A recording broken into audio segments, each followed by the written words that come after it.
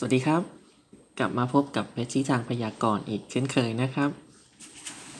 ก่อนอื่นต้องบอกว่าคลิปนี้เป็นคลิปอ่าพิเศษรัดมาก่อน เพราะว่าตรงกับศุกร์13 พอดี แล้ววันฮาโลวีนที่ผ่านมาก็ไม่ได้ทำคลิปอื่นด้วย เกี่ยวกับเรื่องวิญญาณเรื่องผี เพราะฉะนั้นก็เลยอะโอกาสนี้ก็เลยรวบมาใส่ด้วยกัน ก็จะได้เป็น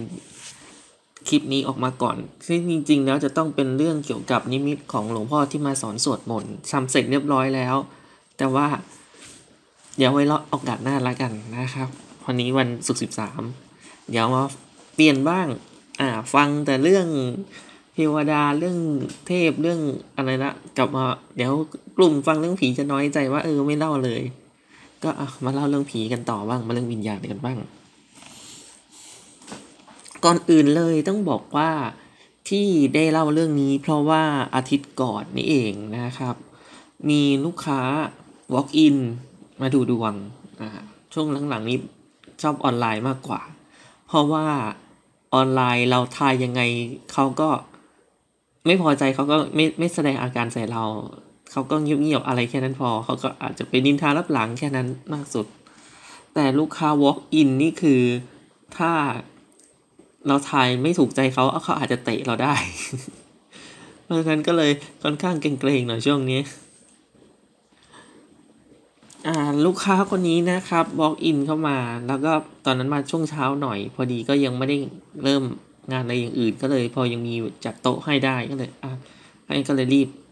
เขาก็ไม่มากคำถามไม่มาก แต่ว่าถามเกี่ยวกับเรื่องน่ากลัวนิดหนึ่งนะครับเขาถามเกี่ยวกับว่าประมาณว่า เขาโดนของหรือโดนอะไรหรือเปล่าเอ้เราก็ฟังทีแรกตกใจเหมือนกันว่า เฮ้ย ขนาดนั้นเลยเหรอเขาก็เลยถามว่าดูได้ไหมอะไรเงี้ยก็เอออ่าดูได้ เดี๋ยวไพ่เขาจะบอกเองว่าโดนไม่โดน อะไรยังไงแล้วก็ เป็นเกิดอะไรขึ้นเดี๋ยวเขาจะบอกเองจริงไม่จริงเขาก็โอเคก็เลยถามไปว่าทำไมถึงคิดว่าอย่างนั้นเขาบอกจิตใจเขาแปลกๆไม่อยู่กับเนื้อกับตัวเขา อะไรประมาณนั้นนะนอนไม่ค่อยหลับ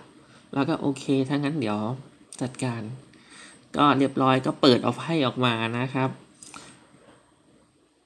ไม่มี ไม่มีเลย เรื่อง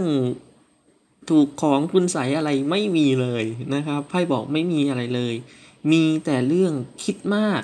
นะครับ มีความเครียดคิดมากทำให้อาการนอนไม่หลับ แล้วก็มีปัญหาส่วนตัวด้วยนะครับ มีปัญหาทะเลาะกันกับแฟนอย่างนี้แล้วก็ เจ้าตัวเป็นคนค่อนข้าง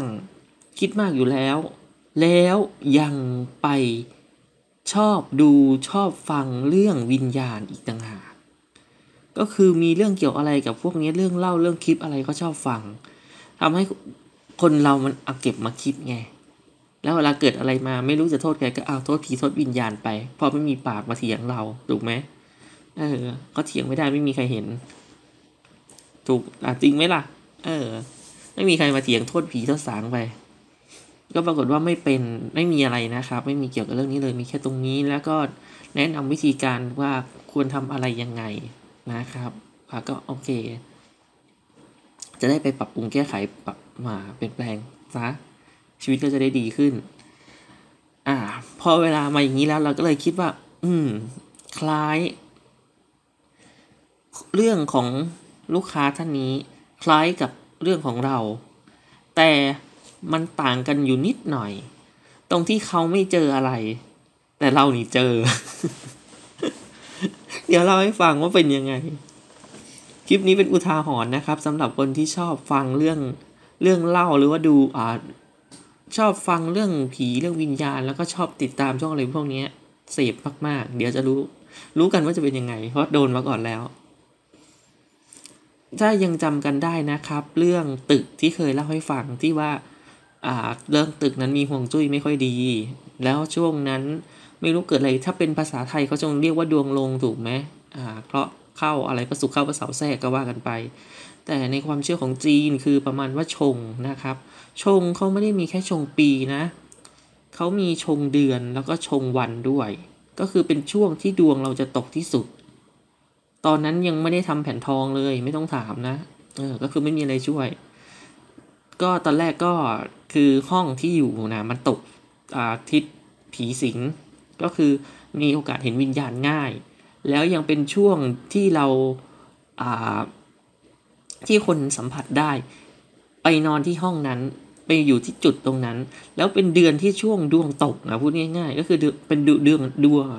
เดือนชงอะเดือนชงสำหรับตัวเอง ก็คือเดือนอ่าช่วงเดือนนั้น ฝันเห็นวิญญาณบ่อยมาก อาทิตย์หนึ่งมีเจ็ดวันจะฝันประมาณห้าวันไปแล้วอะ ก็คือเดือนหนึ่งจะฝันเห็นผีเห็นวิญญาณประมาณไม่ต่ำกว่ายี่สิบยี่สิบคืนนะมัน มันบั่นทอนสุขภาพมาก เพราะว่าเรามักจะสะดุ้งตื่นด้วยความตกใจถูกไหมฮะอ่า เราก็เลยงงว่า เอาไงดีช่วงแรกๆออกเลยโอ้โหหิ้งพระอยู่ใกล้ๆนี่เองเออไม่เป็นไรหรอกที่ไหนได้ไม่รอดครับสวดมนต์ก่อนนอนสวดปกติครับ ก็ไม่รอดครับอ่าเปลี่ยนเปลี่ยนเอาสร้อยพระมาไว้ใต้หมอนอ่าช่วยได้น่าจะช่วยได้ เหมือนเดิมไม่รอดครับ เอาเอาหิ้งเอาเอาสร้อยพระมาไว้ใต้หมอน ปรากฏว่าคืนนั้นถ้าจำไม่ผิดมีอยู่คืนหนึ่งฝันเห็นผี แล้วก็ตกใจตื่น ก็เลยกำพระแล้วก็นอนต่อ ก็กลับไปฝันต่ออีกเห็นผีตัวเดิมแหละเรื่องต่อเรื่องต่อเนื่องกันเลย เออต่อเนื่องกันเลย แล้วก็ตกใจตื่นอีก แล้วก็ตื่นมากำพระอ่าแล้วก็ไม่มีอะไรแล้วนั่งสองสองสองรอบแล้วเออไม่มีอะไรแล้วแหละก็เลยกำพระแล้วก็นอนต่อ ไม่จบรอบที่สามใช่รอบที่สามผีตัวเดิม อ่าสะดุ้งตื่นรอบที่สามโอ้ยไม่ไหวเลยนะมันเพียมากเลยแบบเออการที่สะดุ้งตกใจตื่นเนี่ย เสียสุขภาพจริง ๆ ก็เลยเปลี่ยนเป็นห้อยพระนอน ปกติไม่ค่อยห้อยพระนอนนะก็เหมือนเดิม เอาไม่อยู่ คนมันจะซวยมั้งช่วยอะไรก็ช่วยไม่ได้ ห้อยพระก็เอาไม่อยู่ แล้วก็โอ้โหอะไรจะขนาดนั้น นี่ทำคือทำยังไงก็ไม่ได้หมดนะ ก็คือเห็นเห็นเห็นจริง ๆ คือเป็นเป็นหนึ่งคือช่วงดวงเราลง แล้วคืออย่างที่สองคือห่วงจุ้ยไม่ส่งเสริมเลย เพราะนั้นก็คือว่าจมกับเหยียบซ้ำกันเลยปันนี้ผีบ่อยมากจนไม่นอนไม่นอนห้องนั้นนะไม่นอนห้องนอนตัวเองอะไปนอนห้องทำงานบ้างไปนอนตรงที่อื่นบ้างก็คือไม่เข้าห้องนอนอาบน้ำแต่งตัวเสร็จถึงเวลานอนไปนอนที่อื่นหอผ้าห่มไปนอนห้องอื่นเลย มันไม่ไหวจริงๆอะ แล้วที่จะเล่าคือคืนนั้นน่ะ อะเข้าเรื่องนะ คืนนั้นอ่าเหมือนเดิมที่อยู่ในนั้นที่จำได้แม่นก็คือฝัน ฝันไปว่ามีรถอ่ารถหกล้อเนาะรถหกล้อที่เป็นรถรับส่งนะขนผู้หญิงมาเต็มคันรถเลย เป็นเด็กนักเรียน แล้วก็มีเป็นคล้ายๆ ผู้หญิงมีอายุหน่อย น่าจะเป็นคุณครูนะ มากับรถหกล้อ ครูไม่ไม่กี่คนแต่นักเรียนค่อนข้างมาเยอะ ใส่เสื้อสีขาวกระโปรงสีน้ำเงินเขาเรียกกระโปรงอะไรกระโปรงจำหรือเปล่า ที่มันจะมีแถบเอี้ยมขึ้นมารัดด้วยนะอ่าแล้วก็นั่งอยู่แล้วเขาก็เดินมาหาเขาก็ยกมือไหว้ ก็คือมาขอมาขอบุญนะพูดง่ายๆเขามาขอบุญ แล้วก็แผ่เมตตาไป แล้วเขาก็ขอบคุณแล้วก็กลายเป็นอ่าเปลี่ยนร่างเลยนะ จากเป็นคนแล้วก็กลายเป็นเทวดาแล้วก็หอบขึ้นสวรรค์ไป ตอนมามาหกล้อ ตอนกลับอตอนไปกลายเป็นเทวดาขึ้นหอบขึ้นสวรรค์ ก็เลยมารู้ที่ก็เลยมาคิดได้ที่หลังว่า อ๋อลดความเด็กนักเรียนลดความอ่าสักพักหนึ่งหางตามันก็มองไปเห็น มีเป็นอ่าผู้ชายผิวคล้ำเดินมาจากไกลๆลิบ ซึ่งลักษณะการผิวคล้ำไม่ผ่องใสไม่มีไม่มีรัศมีไม่มีแสงอะไรเนี่ย ตัวนี้คือเป็นวิญญาณตายไม่ดีหรือตายโหงนะครับ ตายด้วยความทุกข์ทรมาน วิญญาณจะเป็นในลักษณะนี้ที่จะเจอส่วนมาก เราเห็นเขาเดินมาไกลๆแล้วล่ะ เราก็ยังไงอะไม่อยากคุยเนาะเพราะวิญญาณแบบนี้จะไม่ค่อยชอบนะครับเพราะส่วนมากจะมีลักษณะที่น่ากลัว รูปร่างเขาไม่น่าดูพูดง่าย ๆ เราก็ทำยังไงดี นั่งตอนนั้นบ้างนั่งโยนั่งมานั่งอ่าเราก็เลยมันน่าจะมีอะไรสักอย่างนะที่แบบกิจทำอะไรก็ได้ที่จะเบี่ยงเบนความสนใจจะหลอกผีอะพูดง่าย ๆ ก็คือแซงทำว่าไม่เห็น ปรากฏว่าข้างๆมีเป็นหนังสือนิตยสาร ก็เลยหยิบขึ้นมาอ่าน ไม่แน่ใจนิตยสารหรือหนังสือพิมพ์แต่มันค่อนข้างใหญ่แต่จำได้มันเป็นหนังสือมันเป็นเอาเป็นกระดาษเปิดแล้วก็เราก็กางอ่านเลยเขาก็เดินเข้ามาเรื่อยๆเข้ามาเรื่อยๆแล้วก็ทำท่าไม่เห็นไม่รู้ไม่สนใจ อ่า ปรากฏว่าเขามาหยุดตรงหน้าอะทายดูซิว่าเขาทำไง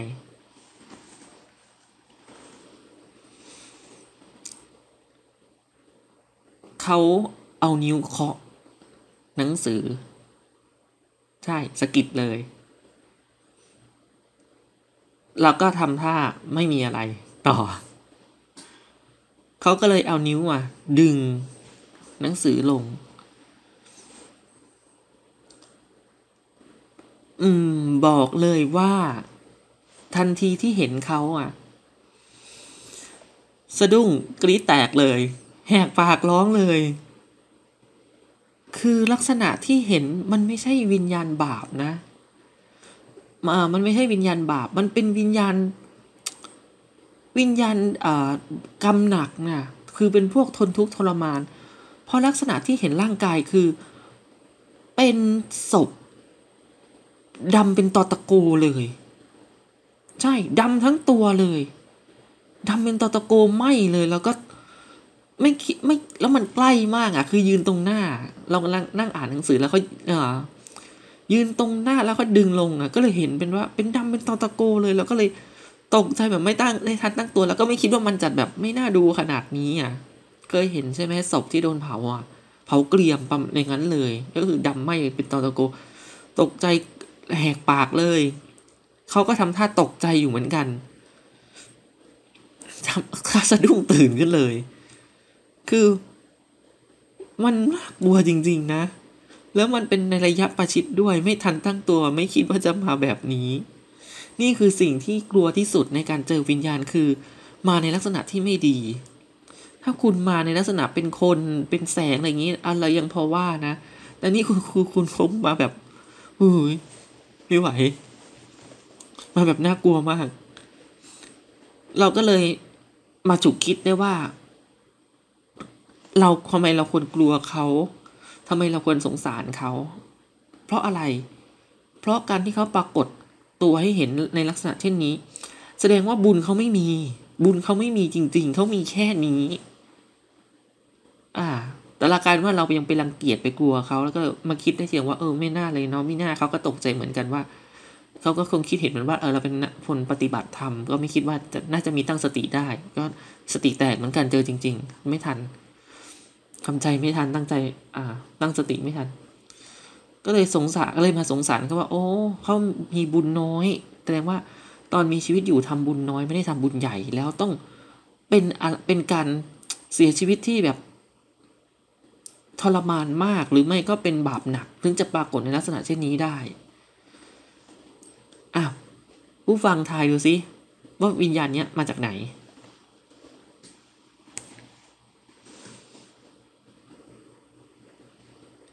หลายอ่าไม่หลายเดือนประมาณเดือนก่อน เราดูรายการหนึ่งที่เขามีการไปอ่าไปตามสถานที่ต่างๆ เพื่อไปพิสูจน์วิญญาณอะไรพวกนี้ปรากฏว่าเขาไปที่จังหวัดหนึ่ง แล้วมีคนผูกคอตาย เป็นผู้ชายอ่าเป็นผู้ชายผูกคอตาย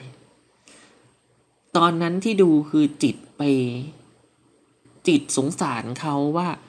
ออเขายากจนเขาลำบากนะ แล้วเขาคิดแบบว่าชีวิตนี้เขาเกิดมาไม่มีอะไรเขาก็เลยตัดช่องน้อยแต่พอตัวทำอะไรก็ไม่ได้ ไปสมัครงานอะไรก็เขาไม่รับเพราะว่าความรู้เขาน้อยเขาเรียนมาน้อย ชีวิตก็เลยลำบากทำงานก็เป็นงานที่ไม่ดีนะได้เงินทำใช้แรงมากแต่ยังได้เงินน้อยเขาก็เลยเลือกตัดช่องน้อยแต่พอตัวผูกคอตายนะครับ จิตเราไปสงสารเขาไปตรงนั้น เราก็เลยคิดว่าเอออยากจะช่วยเขา กลายเป็นว่าอะไร เขาก็มาให้ช่วยเราไง เออ คือจิตเราไปตรงกับเขาเขาก็เลยจับสัมผัสเราได้เขาก็เลยมาหาตามที่เราเราคิด นี่คือระวังคนที่ดูรายการประเภทนี้ ถ้าจิตไปตรงกับเขาเขาก็มาหาได้นะเราก็เลยมาคิดว่า โอ้เขาน่าสงสารจริง ๆ ก็เลยแผ่เมตตาบอกไปนะครับแผ่เมตตา วิธีการแผ่เมตตาสอนแล้วนะอ่าเดี๋ยวทบทวนอีกทีหนึ่งนะครับ วิธีการแผ่เมตตาไม่ต้องแผ่ยาวไม่ต้องแผ่อะไรมาก ถ้าคุณเจอวิญญาณแล้วคุณฝันร้ายอะไรไม่ดี คุณแผ่ออกไปในทันทีสั้น ๆเลย อ่า ความดีที่พระเจ้าเคยทำมา จะส่งผลดีให้กับพระเจ้าเช่นใดขอให้วิญญาณนั้นๆ หรือว่าสิ่งนั้นได้รับผลเดียวกันกับข้าพเจ้า แค่นี้พอ ไม่ต้องขึ้นสัพเพไม่ต้องอะไรมากอ่าบุญความดีคุณความดีที่ข้าพเจ้าเคยทำมาส่งผลให้ข้าพเจ้าเช่นไรขอให้วิญญาณนั้นสิ่งนั้นได้รับเหมือนกับข้าพเจ้าด้วย แผ่เมตตาแค่นี้ครับ อุทิศจงให้เขาเลยนึกถึงระลึกถึงเขา เพราะว่าเขาไม่มีเวลาปรากฏตัวมากนะ วิญญาณบาปเขาปรากฏตัวแค่สองสามวิแค่นั้น โอ้เจ้าคุณมาท่องกรวดน้ำอืม ไม่ทันหรอกแป๊บพูดบอกเลยว่าพูดได้สี่คำเขาก็ไปละไม่ทันไม่ได้รับ เพราะฉะนั้นไม่ต้องพูดอะไรมาก ตั้งจิตแล้วพูดไปเลย เออ ผลบุญใดความดีใดที่พระเจ้าเคย เออทำและได้รับ ขอให้คุณได้รับเช่นนั้นด้วยจบไปเลยนะครับ แผ่เมตตาอย่างทันทีไม่ต้องรอ ไม่งั้นโอ้ไม่ทันคุณโมแต่สับเพสับอะไรไม่ทัน เข้าไปแล้วนะครับ วิญญาณพวกนี้เขาอ่าเขาฆ่าตัวตาย มันก็เลยกลายเป็นว่าเขาบาปบาปมากกำหนักมากนะครับฆ่าสัตว์ฆ่าสัตว์แตัดชีวิตว่ายากแล้วนี่ฆ่าตัวตายอีกนะครับ ก็คือเขาต้องททรมานไปอีกนาน แต่ว่าเราที่ให้ไปก็ไม่ช่วยเขาไม่ได้หมดหรอก แต่ก็คงจะบรรเทาเล็กน้อยก็ยังดี เขาจะได้ไม่ต้องทรมานมาก ก็เลยเป็นเหตุการณ์ว่า ใครที่ดูรายการประเภทนี้ระวังด้วยนะครับ ดูแล้วไม่ต้องไปใส่อารมณ์ ไม่ต้องเอาจิตไปร่วมมาก หรือว่าไม่ต้องไปวิพากษ์วิจารณ์นะครับ คนที่ไปวิพากษ์วิจารณ์อะไรเนี่ยระวังไว้ เดี๋ยวเขาจะมาหาได้เหมือนกันถึงบ้าน แต่คุณจะเห็นหรือไม่เห็นนั่นอีกเรื่องเขาก็รอรอซ้ำตอนคุณดวงลงนี่แหละเออมันนี่ไง ดวงลงปั๊บ เจอเลยอ่าส่วนเอพวกวิญญาณอะไรที่เหลือที่หลังเนี่ยคงไม่ต้องเล่านะ เพราะว่าส่วนมากถ้าเจอนี่ในฝันคือไล่ตี ตอนแรกวิ่งหนีผี ตอนหลังมาไล่ตีผีคืนอ่าตีแม่มเลยอันนี้พูดไม่สุภาพนะ ตีบอกตีแมมอะไรอย่างเงี้ยเออตีอ่าตีคุณอ่าตีสุภาพสตรีเคยมีฝันใช่ตอนแรกเห็นผีมาวิ่งหนี วิ่งไปถึงที่หนึ่งอะแล้วหนีจะทำไมทำไมไม่สู้เออปรากฏว่าหยิบ อ่า หยิบกงล้อไฟอะ ใส่เท้าแล้วก็วิ่งไล่ตีผีเลยตลกมากเหมือนเหมือนนาจาเลย วิ่งไล่ตีผีอะเอาเอาหอกไล่ตีเลยกวนนะฝันเห็นพญานาคอย่างเงี้ย อ่าที่ไปบอกไว้ว่า เอออยากฝันเห็นก็เขาก็ไม่เห็น แทนที่จะให้เห็นมาดีๆ ไม่ตีกับพญานาค ถือลูกแก้ว ถือลูกแก้วจินดามณีแล้วไล่เหาะตีกับพญานาคเลยโอ้โหอ่าเขามาบอกเขามาบอกหวย เออ แต่ไม่ได้แต่หาซื้อไม่ได้ ก็ออกจริง ๆ ก็ไม่ได้ซื้อแต่ก็ทำบุญไม่ให้เขาเหมือนกัน ตอนนั้นฝันถึงพญานาคพญานาคสามสามตัว อ่า เต็มเต็มไม่ต้องกลับเลยเลขท้ายสองตัว อ่า หาซื้อไม่ได้ เราอ่าเล่นเราเล่นลอตเตอรี่ไม่ได้เล่นใต้ดินก็เลย มีปัญหาหน่อย ก็เลยเออเขาอุตส่าห์มาให้ก็ตอนถวายถวายเสื้อคลุมนาคสองตัว ก็เปิดให้ร่วมบริจาคกกันอยู่ ก็ใครที่ได้ร่วมบริจาคด้วยก็อนุโมทนาบุญนะครับ ก็คือเท่านั้น อยากอยากเห็น อยากเห็นพญานาคไปไงก็ได้ มันจะเข้าฝันหรืออะไรยังไงก็ได้ขอให้มาบอก เออว่ายังไงเขาก็มามาให้เห็นจริง ๆ คืนนั้นเลยอ่า ก็จบกันไปนะครับสำหรับเรื่องนี้เป็นตัวอย่างให้ฟังว่า เวลาดูรายการอะไรเนี่ย อย่าไปใส่อารมณ์มากนะแล้วคุณอย่าคิดว่าคุณจะเก่งได้ตลอดเวลา มันจะมีช่วง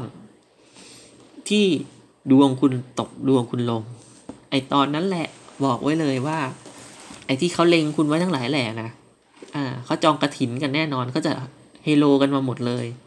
เออ รับให้ทันแล้วกันอ่า นี่นี่ขนาด พอมีวิชาบ้างนะก็ยังไม่รอดเหมือนกัน มันเป็นช่วงลงจริง ๆ อะไรก็เอาไม่อยู่กรรมกรรมกรรมลงเออกรรมเคาะกรรมลง ส่งผลอะไรก็ไม่ได้ก็ต้องยอมรับไปนะครับตกเดือนชงช่วงนั้น แต่ถ้าใครทานแผ่นทองแล้วก็ไม่ต้องคิดมาก ก็เรื่องของวันชงกับเดือนชงนี่ไม่ต้องคิดมาก ระวังแค่ส่วนส่วนของ อ่าส่วนของปีแค่นั้นเอง เพราะปีเขาจะมีผลกระทบรวม เดือนมันก็แค่ใน 30 วันถูกไหม มันก็แค่เป็นช่วงอาจจะแค่ 15 แค่นั้นเอง ตกตกครั้งสองครั้ง วันก็คือแค่วันเดียวที่จะมีผล แต่ปีนี่คือเขาจองยาวเลย 365 วัน แล้วแต่เขาจะเลือกเอา เพราะฉะนั้นใครที่ทานแผ่นทองไปแล้วนี่ก็ระวังแค่ส่วนของปีชง ส่วนวันชงกับเดือนชงไม่ต้องไม่ต้องไม่ต้องคิดมาก ไม่ต้องห่วงมาก ยกเว้นแต่ว่า วันชงเดือนชง แล้วก็ปีชงมันมาตกกันสามชง ไอตัวนั้นนะคุณต้องระวังอ่าระวังให้หนักเลยสำหรับใครที่ตกปีชง ปีชงปีหน้าปีอะไรนะ ปีมะแม่แพะใช่ไหมอ่า ปีหน้าปีมะแม่แพะนะครับ ตกปีชง ก็ใครที่เกิดปีนักษัตริย์มะแม่ก็ระวังด้วยนะครับ แนะนำอ่าตามที่โพสต์แล้วกันเนาะไม่ไม่พูดมากก็น โพสไว้บอกไว้แล้ววิธีการแก้นะครับสำหรับคลิปนี้ก็คงจะมีเท่านี้นะ เอามาให้หอมปากหอมคอกันหน่อยใครที่คิดถึงเรื่องเรื่องเล่าวิญญาณ แต่เดี๋ยวเรื่องอื่นก็ยังมีอยู่ อันนี้มันมีลูกค้ามาดูดวงแล้วเขาถามก็เลย เหมือนตรงกับเราก็เลยเอามาเล่า ไม่น่ากลัวมาก พอสยองนิดหน่อยแค่นั้น ก็เดี๋ยวจับปกตินะคะ ไปคลิปที่ทำไว้เดี๋ยว ใกล้ช่วงสิ้นเดือนวันพระ เดี๋ยวก็จะเอาลงให้ฟังกันเกี่ยวกับเรื่องพระภิกษุมานิมิตสอนสวดมนต์นะครับสำหรับเท่านี้อะคลิปนี้ก็คงจะมีเท่านี้นะครับ ขอบคุณที่รับฟังนะครับ แล้วก็ใครที่อยากจะอะฝากถึงใครที่อยากจะใครที่ติดตามในหรือฟังคลิปดูใน YouTube อ่า ทางเรามีแฟนเพจนะครับ แล้วก็จะไม่ได้มีแค่คลิป อาจจะมีบทความรูปภาพ หรือว่าเป็นเรื่องอื่นสำหรับสอนธรรมะนะครับให้อ่านได้หรือเป็นสัพเพเหระเตือนกันเกี่ยวกับเรื่องพวกนี้ ยังไงก็เข้ามากดถูกใจแล้วก็กดเห็นก่อน see first นะครับ จะได้ตามกันว่า ตอนนี้สอนถึงเรื่องอะไรแล้วก็นำธรรมะเรื่องไหนมา ขยายมาอธิบายให้ฟังรวมถึงคำถามที่บางคนถาม แล้วก็เป็นเรื่องของอ